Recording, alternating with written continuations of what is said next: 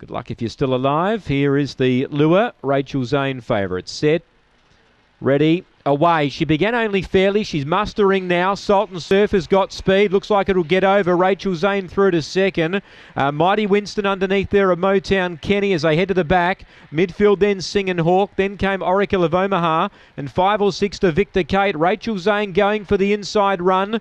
Uh, Salt and Surf couldn't, uh, well, wouldn't let it through. Gets a length in front again. Rachel Zane closes from Motown Kenny. Salt and Surf a length. Rachel Zane, Motown Kenny late. Rachel Zane will get there.